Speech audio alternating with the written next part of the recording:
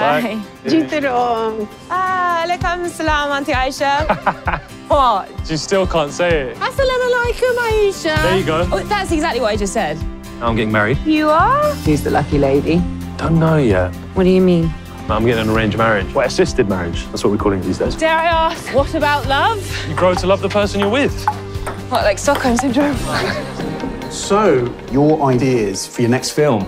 I could follow my childhood friend to marry a stranger chosen by his parents. Mo here, Mo the matchmaker. What's your education, bro? He's a doctor. Oof, no, listen, top of the food chain. I've got news. I got engaged. Wait, what? Very like her. Hi. Hi. How do you feel about possibly moving to London? She's fine with it. It's a very multicultural place. The wedding's in Pakistan. You're so fully signed up to this. Your happiness. It's all that matters.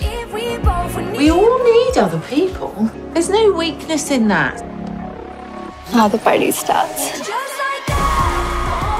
I used to think that I was scared of being with the wrong person. But now I realize that I'm scared of being with the right person. I've been very lucky to have them as neighbours. Actually, they've become like family to me since your father left for that teenage whore. She's 35. Exactly.